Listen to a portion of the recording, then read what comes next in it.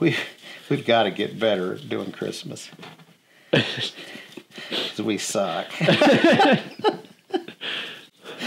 We're so tired though. I know.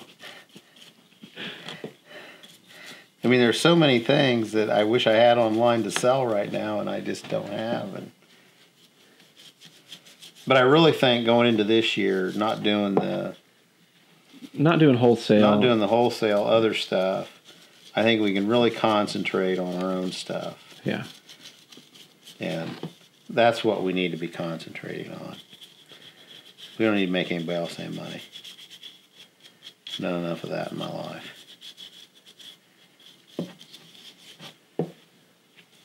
Yeah, it just became too much. Yes. Just It's just too much. and what we can do online is just nuts compared comparatively. Yeah, So it's it's just- crazy. And I think it's I think it's like artisans or, or craftspeople it's hard because you see that big order of somebody wanting, you know, 20 or 25 of something and you think, "Wow, it's a big order." You know, and you kind of ignore the money side of things. And then when you really get to looking at it, you You're like, oh, realize that, the, that the wholesale stuff just isn't doing you any good. Yeah. It doesn't do you any good.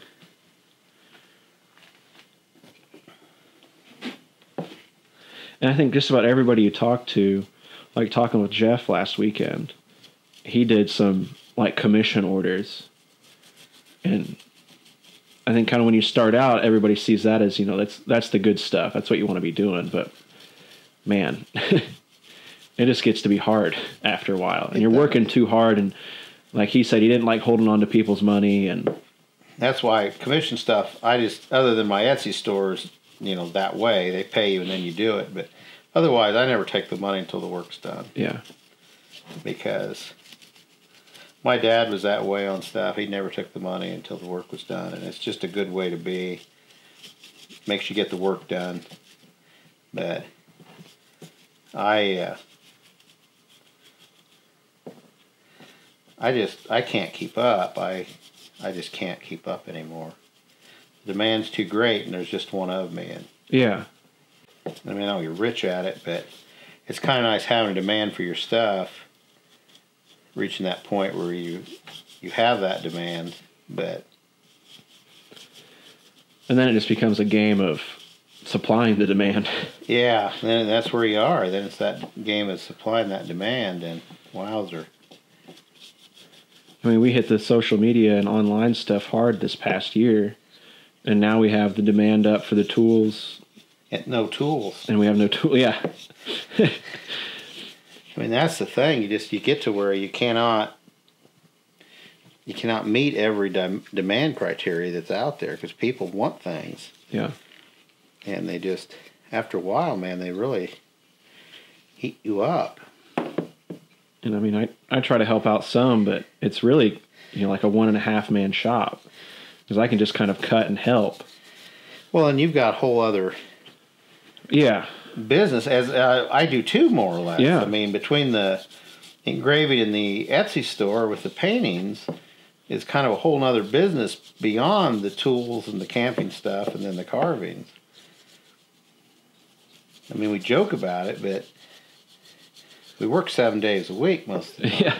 It's, it's funny people at shows asking us if this is our job, and it's like, well, this is one. This is one of them, you know.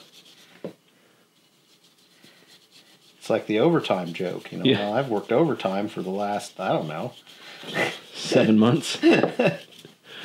I there somebody said something last night on Facebook, and I said, "Yeah." I said my next day off will be probably New Year's. I'll probably take New Year's Day off. And they said, "Well, that's like seven, eight weeks away." I said, "Yeah." What's your point? I said, "Right now, There's no. I mean, you just work." that's what Pays and I talk about is like it, it stinks, but also it's great. It stinks that you spend your holidays that everybody else is looking at relaxing and, and we're spending it working our tails off, getting stuff ready because it's I don't know, like a quarter of our year, I think. Oh, At least yeah. for Paisley and I. It's a quarter of our year, easily. Yeah. And you can't just ignore that quarter No, you can't. You can't. If you're an independent artist and and you have things that go well in the holidays, you can't just write off that holiday season because you don't want to work. I joked last year, and maybe I need to be more serious about it, but like Christmas in July for artisans Yeah. and craftspeople is like Fourth of July is our Christmas because nobody's buying anything. It's nice weather. We can go out and do something. Yeah, you can actually enjoy yourself a little bit in the summer, but it gets rough this time of year because you're just you work all the time.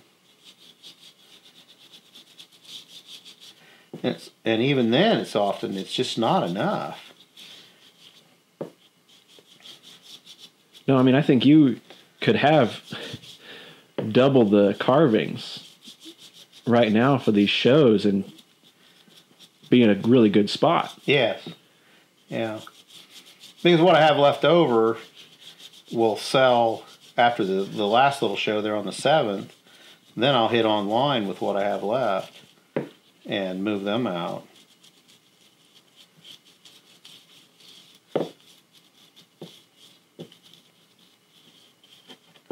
That's what you do. I mean, you just keep after it until you, until December 26th. until yeah.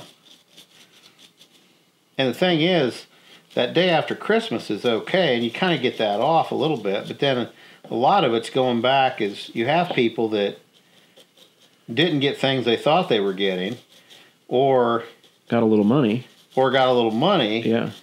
and want something. That's right, because last year our January was as good as our November. Yeah, it's a killer. January can be just a, another one of those killer months, and so you you don't really get to relax right then. It's still you're still going. And then our first indoor show is back in February. February. And then our biggest indoor shows in March, and so we're and right then back in the saddle, gearing back up. and then this past year we were totally caught off by Father's Day. Yeah, Father's Day just trumped us. Was surprising because it the leading up to that was just after our, uh, the Kalamazoo show there in March. Yeah, So we didn't have a whole lot, and then all of a sudden we just I mean I'll we admit. Yeah, I wasn't watching it at all, but we just got slammed again. And then you you have that slam, and then you're into the fall shows, and then you're right into the holidays again. That's just a recap of our last year of just for a two man shop. It's just nuts. And when where both people are really working other jobs as well. That, Yeah. That's the thing you just got to keep in mind. And This- granted, the jobs are here, but yeah, we they're both still work at home. uh, we still work out of here. But it doesn't matter. We're doing other things. I mean, I engrave a ton during those months, and it just is busy. It just gets really busy. Yeah, I mean, just looking at the last, this is in a way kind of a recap of this last year, but geez. So I remember when I was in California, I was texting you about, you know, people asking for stuff. And it just doesn't stop, which is good. I mean, it's, I That's what to- you want. It's Yeah. the ultimate situation to have, but it keeps you on your toes. You can't just sit down and say, "Okay, well, I'm going to take a couple weeks off here and go do this." We aren't really in a position to do that. No. But it's great that people, Support you and, Yeah. and are interested in what you do. I feel like the shop small movement has been going for about five years now, maybe a little bit longer. And I really kind of think it's hit peak or it's hit a, a sustainable level that people, you're, I see normal people that aren't makers or, you know, artists in some fashion online talking about it. Yeah. Yeah, it's just you just gotta keep after it. I started those little wizard carvings, doing those little Gandalfs. You know, I haven't even got one finished yet because I got switched back over. For Christmas. Yeah, Christmas, and not saying those wouldn't sell as a Christmas item, but I don't have time to deal with them right now. Be real honest, I I don't have time to hit the really Christmas themed stuff right now and rolling it as hard as I can. It's not what you think it is. I mean, everybody thinks you work for yourself, you can kind of do what you want. Well, you can and you can't because you have responsibilities to your business to fulfill those obligations of customers and things. And that keeps you hustling. Yeah. I mean, you have to stay after it all the time. People joke that being your own boss is a blessing and a curse because you get to tell yourself, you know, kind of what you want to be doing to a certain extent. But also, when you're your own boss, you don't necessarily respect labor laws. No, you don't respect labor laws at all. You just work all the time. And that's what you have to be really careful of is you will work all the time. Because there's always something to do. Yeah. I mean, you get to where you have to consciously tell yourself, I'm taking this time off. Yeah. And forcibly put everything down that's work. Yes. Or you'll just work. Because that's what I find myself doing. If I sit down after dinner to watch TV, which would be like the first time I've not worked that day, I find myself getting on my phone and working. Yeah. Say, well, I'll go catch up here. I got a few people I need to get back with. Yeah. And, I need to talk to these people. and uh, in our communication time is not joking with friends.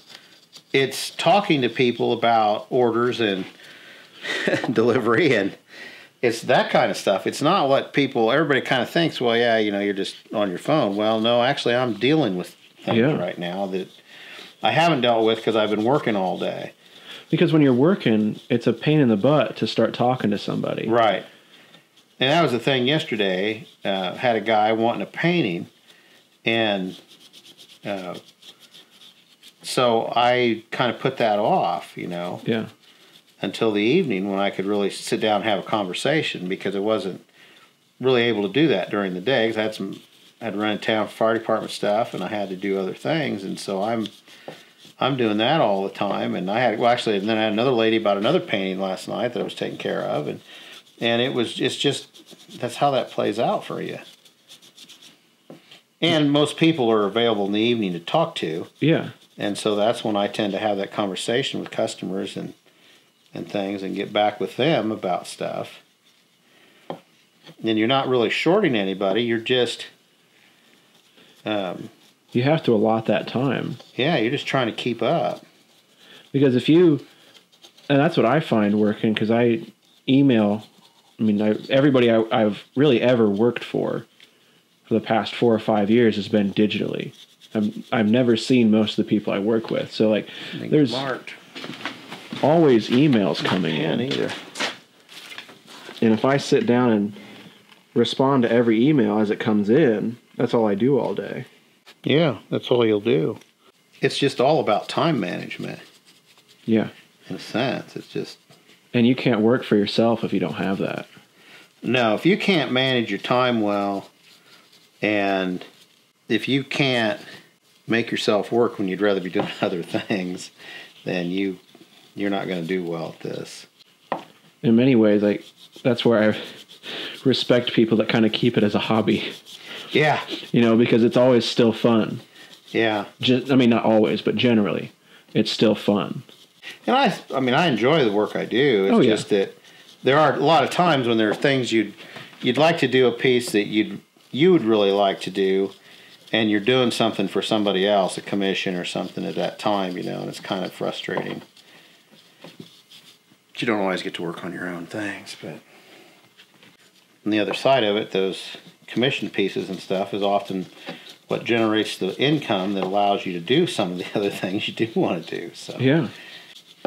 I'm not saying always work for the dollar, but a lot of times it's nice to work to have the dollar. You know, It's hard to throw that away. Yeah, it is. It's hard to not do that when it's And when you're your CEO and your accountant, Right. and you always know where the finances are in the business. And so it's just kind of one of those things that you just keep doing. And I mean, it's easy to look at it one way and talk about it and things, but right when you get down where the rubber meets the road, you have to make product, you have to market product, and you have to sell product. If you want to stay in business, that's the deal. And if you're not doing that well, you're not going to be in business a long time. Just gonna Bring that knife over here. Make life easier. Little paint flecks and things that when I'm painting, I look at it and I say, oh, I'll just catch that with the knife later. And that's what I do. I just come back, grab my knife, and go after them. It's just easier. Grab that knife and fix something than to piddle around trying to do it some other way. I didn't get any of the Santa ornaments made. I just never got that far. I have people wanting them, but hopefully I come off of this show with a few pieces left over and then I can leave those in inventory and then make some new stuff for the next little show. And Yeah. Every time I asked you what you were doing for like the past couple weeks, it's been carving mostly. Yeah. I mean, you you did some engraving there, but it's been carving. and I got another engraving job I got to do. I've got two watercolors, really three watercolor house portraits, and an engraving job that I've got to get out. And I always tell engraving customers, do not talk to me these months. But one of them will always come on, man, I got this just a little job, and I, I really need it. And that turns into a whole gun. And it turns into a whole nother project, and off you go on that. And this is just a barrel, but I'm setting platinum wire in it. Then I got a guy I need to email back on another job where we're going to set some gold in a barrel. He's got a couple questions about that. And so on and on it goes. I can truly say I'm hardly ever bored looking for something to do. We need some elves. Yeah, I need elves. If you know where the elves live, send them to me.